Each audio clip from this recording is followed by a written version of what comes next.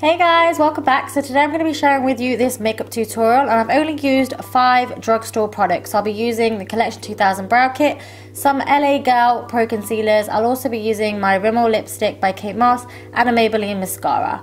So you just want to start off with a bare face and I'm going to go ahead and I'm going to be using my LA Girl Pro Concealer in the shade Fawn. Now it's a little bit orangey and it's a little bit darker than my natural skin tone. So I'm going to be using it kind of like a color corrector putting it underneath my eyes and around my mouth and also my forehead area just to color correct a little bit.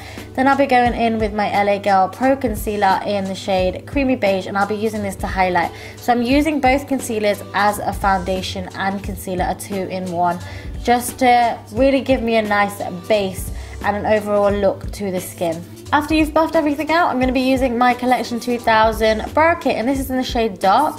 I'll be using both of the darker shades just to fill in my brows ever so lightly with an angle brush and this just gives you more of a natural looking brow and then you just want to use a spoolie or a disposable one whatever you have just to brush through the brows just so they look a little bit more natural. I'll be taking that middle shade again and I'm actually going to be using this as a contour and it really works. I really like the shade as a contour and I'm also going to be sculpting my nose just giving a little bit of definition to my nose with, with this product so you don't actually need a contour shade. Again I'll be taking the colour Fawn and I'll be popping this all over my eyelid up to my brow bone because I do have a little bit of pigmentation on my eyelids.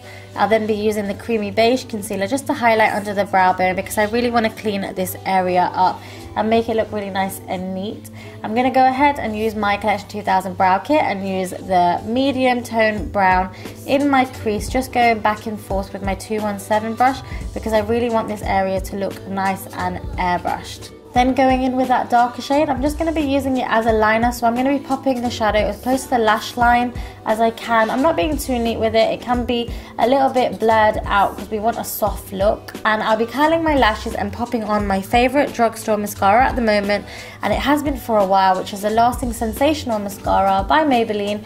It really separates, it volumizes, it lengthens, it does all of that jazz. Just do your top and your bottom as you want. It's quite a simple makeup look. So I'm just going to finish it off with my Rimmel Kate Moss lipstick in number 48.